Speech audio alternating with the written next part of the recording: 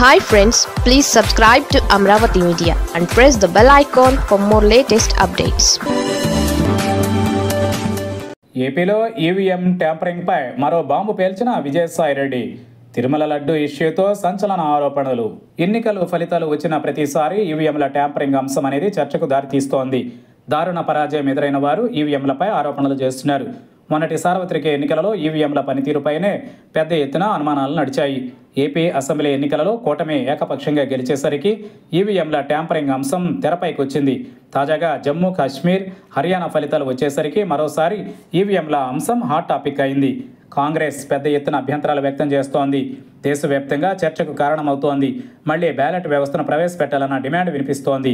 Haryana assembly ఎన్నికలలో Congress party ఓడిపోయింది.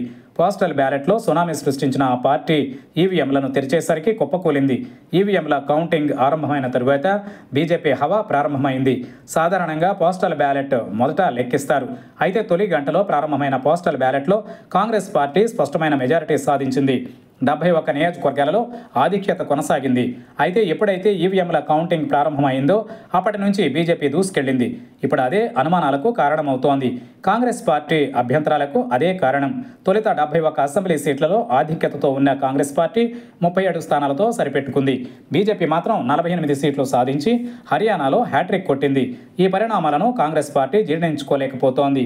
అయితే తాజాగా ఈవీఎంల పనితీరుపై వైసీపీ ఎంపీ విజయసాయిరెడ్డి అనుమానాలు వ్యక్తం చేశారు. ఏపీ అసెంబ్లీ ఎన్నికల్లో కూడా ఈవీఎంల ట్యాంపరింగ్ జరిగి ఉంటుందని అనుమానం వచ్చేలా మాట్లాడారు. ఏపీలో ఎన్నికలు జరిగి మూడు నెలల తరువాత ఎలక్షన్ కమిషన్ ఫామ్ ట్వంటీని వెబ్సైట్లో పెట్టిన విషయాన్ని గుర్తు చేశారు. అయితే దీనిపై కోర్టుకు వెళ్ళకుండా టీడీపీ కూటమి తిరుమల లడ్డు వివాదాన్ని తెరపైకి తెచ్చిందని సంచలన ఆరోపణలు చేశారు విజయసాయిరెడ్డి. వాళ్ళ కుట్రలో భాగంగా పక్కా స్కెచ్తో దీనిని అమలు చేశారని విమర్శించారు.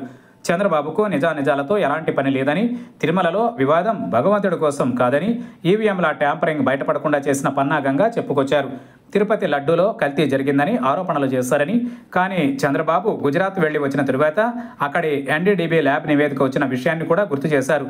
టీటీడీకి ఉద్దేశపూర్వకంగానే కొత్త పాలక మండలి వేయని విషయాన్ని కూడా ప్రస్తావించారు. ప్రజలు ఈసీ తన అధికార వెబ్సైట్లో పొందుపరిచిన ఏపీ ఎన్నికల ఫామ్ ట్వంటీని పట్టించుకోకుండా ఉండేందుకే ఈ లడ్డు వివాదాన్ని సృష్టించారని ఆరోపణలు చేశారు విజయసాయి. మొత్తానికైతే కాంగ్రెస్ అనుమానాలు వ్యక్తం చేస్తున్న నేపథ్యంలో విజయసాయిరెడ్డి తెరపైకి రావడం విశేషం.